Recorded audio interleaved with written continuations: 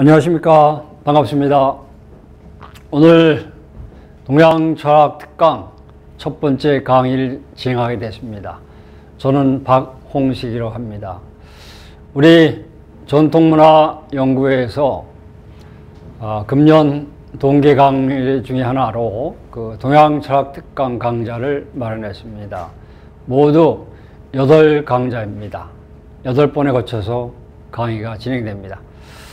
어, 저는 그 중에 첫 번째, 두 번째 강의를 맡게 됐습니다. 어, 이어서 세 분 교수님들께서 아주 좋은 강의를 해주시는데, 저는 뭐, 그냥 오프닝 세레모니다 라고 이렇게 이해해 주시면 되겠습니다. 오늘 저와 같이 이렇게 생각해 볼, 대화할 그 제목은 실학입니다.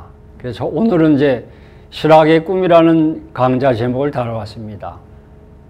다음 주에는 예, 다산 정약용이 새로운 세상이다 라는 제목으로 이렇게 한번 타이틀을 정해봤습니다. 어, 실학이라고 하는 것은 우리가 이렇게 낯설지 않은 그런 테마입니다. 많은 사람들이 일찌감치 우리가 학교 다닐 때 실학이라는 그런 테마에 대해서는 한 번쯤은 다 들어봤을 겁니다.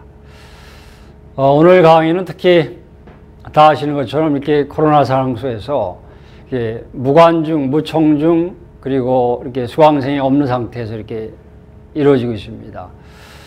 뭐, 바다의 침묵인가요? 뭐, 침묵의 바다, 바다입니까? 라는 소설도 있습니다만은, 이렇게, 어, 벽을 보고, 앞을 보고 강의해야 되는 그 반응 없는 그러한 강좌가 진행되겠습니다.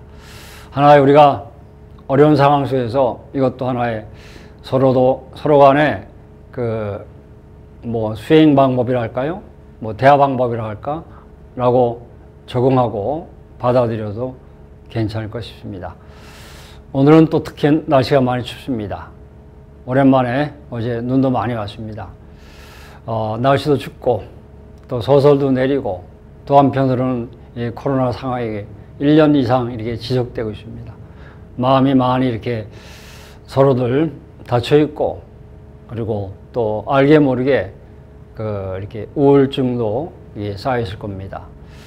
오늘 강좌가 바람이 있다면 조금이라도 어떤 그 새로움에 대한 꿈을 꿨, 꿈을 꿨던 선조들의 그 지혜를 영감을 받을 수 있으면 참 다행이다. 이렇게 생각을 한번 해봅니다. 자, 그럼 바로 이야기를 진행하고 계십니다.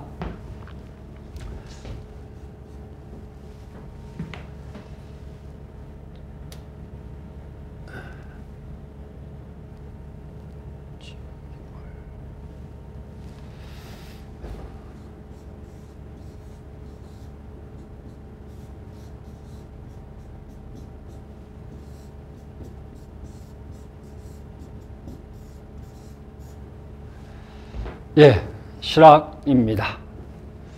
제목은 실학의 꿈입니다. 아, 왜 실학의 꿈이라는 제목을 달아, 달았을까요? 철학이라고 하는 것은 인간이 가지고 있는 어떤 현실과 미래에 대한 소망이 담겨져 있습니다. 흔히 학문적인 영역적인 얘기로 얘기한다면 하나의 시대 정신이 담겨져 있는 거죠. 음, 서가모니 불교, 불교도 인류의 꿈이 담겨져 있습니다.